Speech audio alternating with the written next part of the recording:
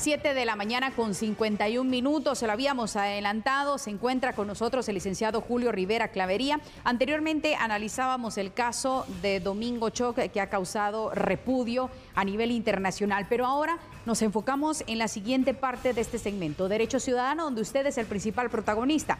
Vamos a seguir hablando de la pandemia del COVID-19. Señores, nos encontramos en la etapa más crítica.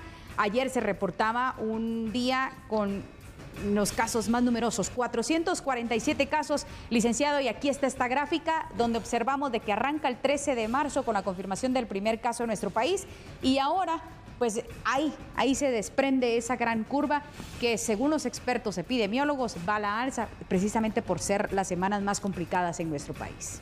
De acuerdo con la información que yo tengo que va en esa misma línea, estas semanas que siguen posiblemente hasta mediados de julio vamos a tener el pico más alto en el tema de las infecciones y de los decesos producto del COVID-19. Pero lo importante, porque al final todo lo que se ha venido comprobando en términos generales en el mundo es que lo que nos puede salvar es que efectivamente utilicemos la mascarilla, guardemos la distancia física y nos lavemos las manos eh, con agua y jabón o gel constantemente. De no ser así, el número se va a ir incrementando. Y aquí no, no podemos hacer más que simple y sencillamente ir recibiendo a aquellos que van a estar graves en los, en los hospitales y que van a fallecer y, los asintomáticos sacarlos para sus casas o los que sean, eh, estén con leve padecimiento, que tengan un tratamiento en su casa porque de, de, todas maneras los centros hospitalarios, si no están colapsados, están por colapsar. Por lo tanto, hay que entenderlo y esperar que los guatemaltecos lo entiendan, que yo lo veo sumamente complicado. Yo veía ayer un entierro masivo en uno de los municipios de Huehuetenán donde la gente iba sin mascarilla. Pero lo que no entienden es que ahí se van a infectar un montón. No me da, dice uno, aquí vamos, solo es un ratito. Y en ese ratito es cualquiera. Eh, o sea, en ese ratito se infecta y el problema es que no es cierto que solo los viejos eh, se estén muriendo, está muriendo todo el mundo. El rango etario de nuestro país es de, de, 23 a 40 años los mayores contagios. Sí, entonces, y, y, ahí también una buena cantidad de muertos ya, por lo menos en nuestros países. Por lo tanto, si no tomamos en cuenta estos elementos que estamos dando ahorita a la población, va a ser muy difícil que lo logremos controlar y muy difícil que la, desescalada se dé mucho más rápido de lo que podría estar prevista. Licenciado, quiero hablar un poco de, los hábitos, porque tanto mencionamos, hay que cambiar hábitos de salud, hay que cambiar hábitos, pero ahora la mascarilla, lavarse las manos, esto va a ser un hábito y va a ser parte de la nueva normalidad. ¿Por qué le digo esto? Porque estamos, se está analizando cómo podría empezar la desescalada del país para retomar ciertas actividades, pero no podemos avanzar si precisamente la población no hace caso a esas recomendaciones? Yo creo que eso es la base fundamental, porque por ejemplo, los ensayos que se están haciendo en el Transmetro. En el Transmetro. Eh, en los que subieron en este fin de semana 11 mil y pico de personas. Eh, eso, y es correcto hacerlo, porque usted en estos ensayos lo que va a ir viendo son los errores que se están cometiendo para, irlos, para ir mejorando el transporte. Pero eso también, eh, eh, el otro, la, otra, la, otra contraparte, por así decirlo, somos los ciudadanos que utilizamos el transmetro o el transporte urbano. Porque si nosotros no tomamos todas las medidas, seguro nos vamos a infectar. Va a ser el mismo principio que se va a tener que aplicar en el transporte extraurbano cuando éste empiece a funcionar ya a nivel nacional. Y no hay que esperar eso que diga, ah, el policía va a venir, me va a poner la mascarilla.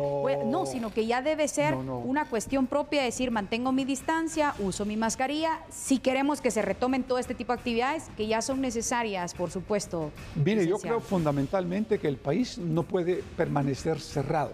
Es decir, a, la gente plantea es que primero la salud o primero eh, la economía. Yo creo que corren paralelas. Claro, tienen que ir de la mano. La salud es fundamental porque sin salud no se puede trabajar. Pero el problema es que si usted no tiene trabajo no come. Entonces, eh, especialmente en países en donde la gente vive al día, tiene que salir a ganarse su comida.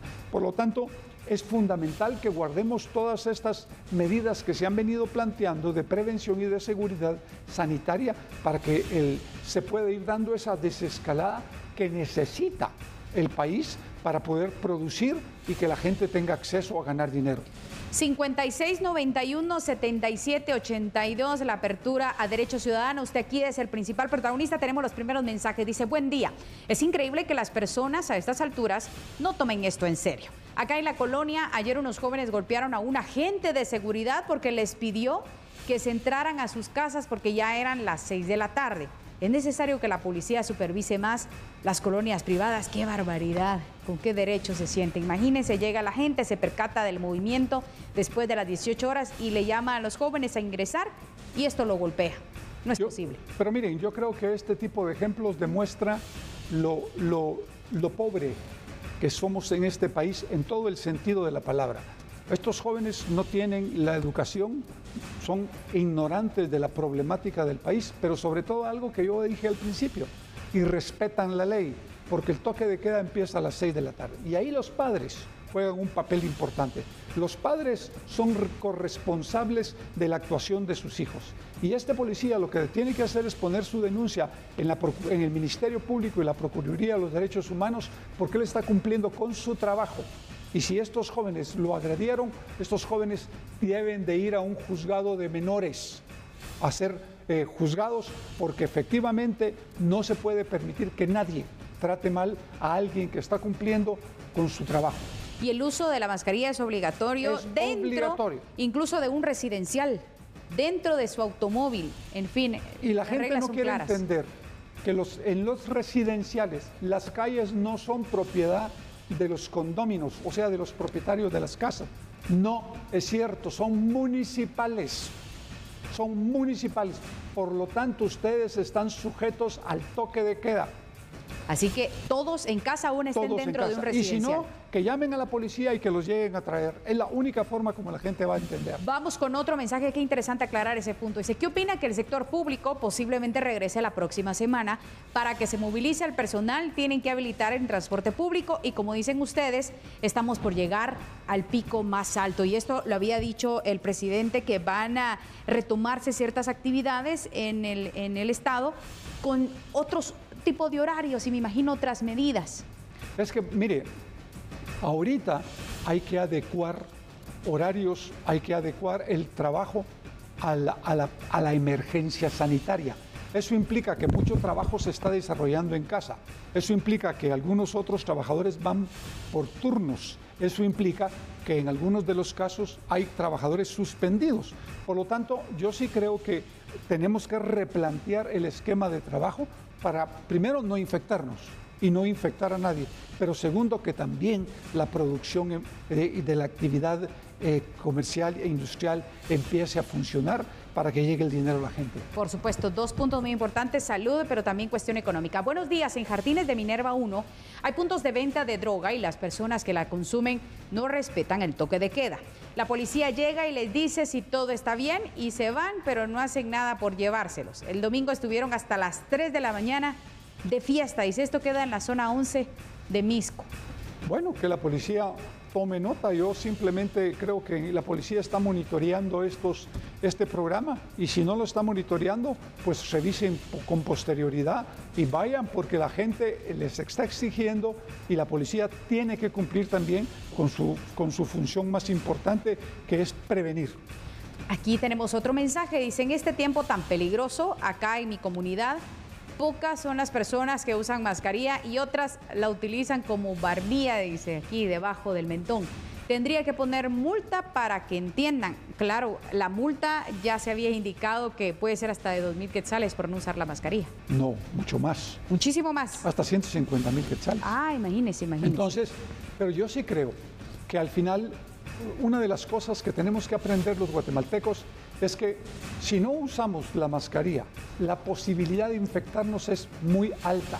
Por lo tanto, quienes vamos a sufrir los quebrantos de salud vamos a ser nosotros y la posibilidad de morirnos es bien alta, porque efectivamente en la medida que más en la medida que colapsen los hospitales, que haga falta medicina, las posibilidades de que uno se vaya de este mundo son bien altas. Vamos con este punto donde eh, hablamos a que no esperemos a que las autoridades nos digan que no, al contrario, esa ya es una nueva normalidad. Dice, en Jalapa hay velas, entierros, baby showers, cumpleaños, comedores en mercados abiertos y buses con personas de la montaña al pueblo. Una denuncia que llega sin lugar a dudas desde el departamento de Jalapa.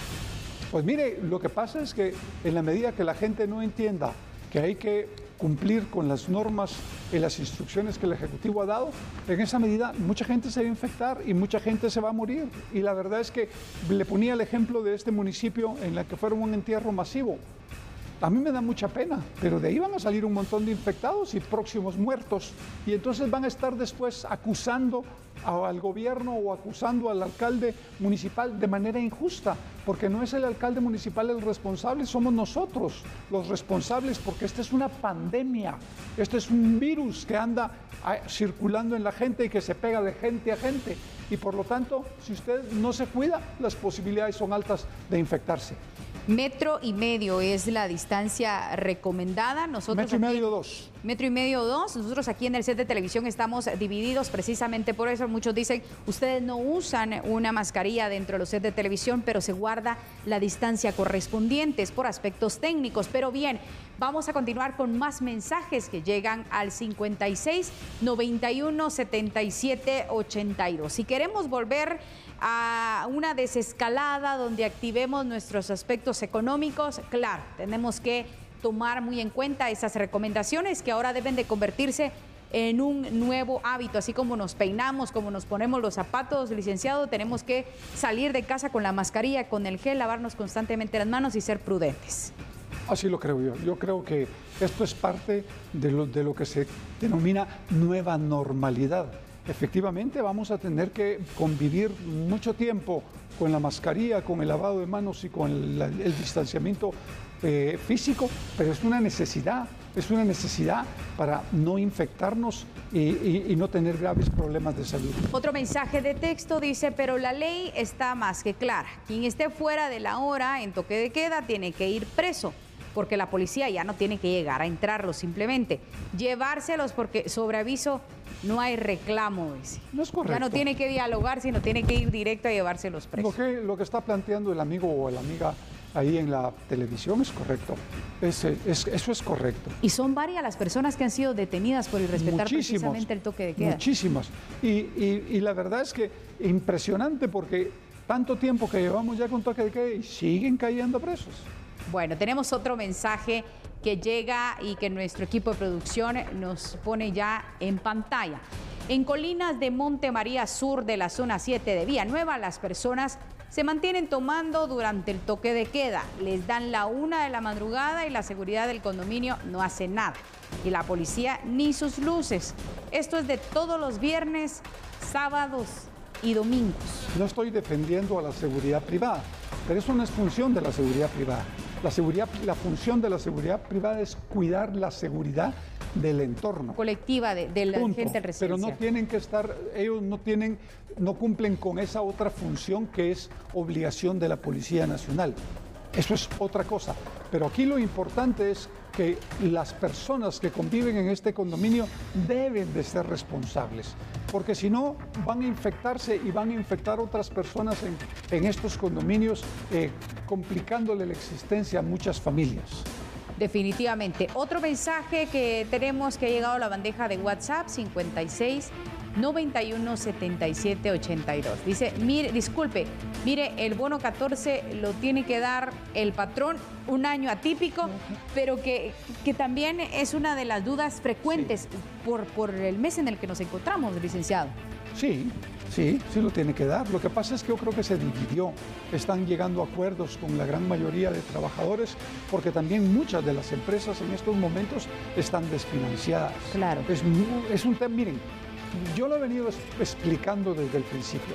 Siéntense trabajadores y patronos a hablar porque aunque sea una obligación legal de la empresa, pero si está desfinanciada en este momento no va a poder cumplir con estos requisitos. ¿Y qué es lo más importante? Según yo, según yo lo más importante es la sobrevivencia de la empresa para darle sobrevivencia a las plazas de trabajo. Más vale tener un trabajo y un salario a que desaparezca la empresa y que se queden sin trabajo. Como aquella frase que decían las abuelitas, una gotita perenne. Es correcto. Que no se nos cierre por completo la llave. Es. Tenemos otro mensaje, dice, buen día, en zona 7, Quinta Samayoa, hay unos gimnasios que están funcionando a puerta cerrada. No están tomando la restricción. Eso sí es muy delicado. Eso es sumamente delicado porque efectivamente los gimnasios, los, eh, los, los, restaurantes, eh, todos estos lugares en los que hay mucha aglomeración de gente, son lugares cerrados. Son lugares cerrados, la, la posibilidad de infectarse son bien altas. Por lo tanto, ahí sí la policía también tiene que ir a ver si efectivamente se está eh, incumpliendo la ley, porque esta es una instrucción sobre la base de una ley y ellos van a ser sujetos de, o de una multa o del cierre de operaciones. Pero yo sí le hago un llamado a los propietarios de gimnasios que eso no lo deben de hacer porque ustedes lo único que están propiciando es la posibilidad de que mucha gente se infecte. Y hay que hacer la denuncia también correspondiente para que, puedan llegar las autoridades. Al Ministerio de Salud Pública. Vamos con el siguiente mensaje 5691-7782. Buenos días, tal vez podrían ser más drásticos ya que las personas no hacen caso. A veces después de la hora andan como si nada y lo que dice que la policía no les hace nada. Bueno, vea, la policía está monitoreando este programa, ellos sabrán lo que tiene que poner en marcha a través de un, operativos mucho más eh, drásticos para que la gente que incumpla con la ley la pongan a disposición de los tribunales. Pero eso es lo que estamos hablando. Se trata de reflexión de yo en mis propios zapatos tomo las medidas, no tengo que esperar a que las autoridades me digan. Pero él lo, lo venimos platicando desde el principio, Diana. El problema es que la, la gente en términos generales irrespeta la autoridad y la ley.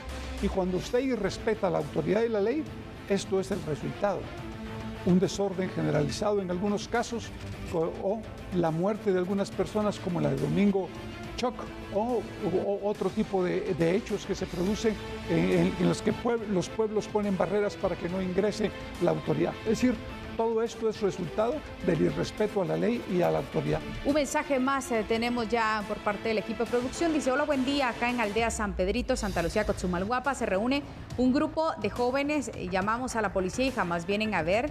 Salen sin mascarilla y los policías no les dicen nada. Hemos estado sufriendo asaltos por personas de la misma comunidad y no tenemos respuesta de la policía. Bueno, la policía debe de seguir tomando nota y avisar a la, comisaría de Escuintla y subcomisaría de Santa Lucía para que efectivamente revisen qué es lo que está sucediendo en, estas aldeas, porque es sumamente importante comenzar a mantener un control más estricto en esas áreas. Licenciado, como siempre, es un placer tenerlo con nosotros todos los martes y los jueves para resolver esas dudas, inquietudes de la población guatemalteca. Hay que resaltar. Esto no es un juego. 267 personas han fallecido y ya vamos por 7.500 casos. Estos son los datos actualizados ayer por el Ministerio de Salud. Vea, yo vuelvo a repetir lo mismo que siempre. Yo creo en una Guatemala diferente es posible. Lo creo profundamente. Pero también creo que si no seguimos instrucciones, no nos lavamos las manos, no guardamos nuestra distancia física y no utilizamos la mascarilla, la posibilidad de infectarnos es sumamente alta. Por lo tanto, por favor, háganlo. Bueno, así que con esta información nosotros le invitamos a que siga en sintonía de TN Todo Noticias. Agradecemos siempre todos esa cantidad de mensajes de, que llegaron hasta nuestra bandeja de WhatsApp. Esto es Telediario al Amanecer y nos vamos a una pausa. Regresamos.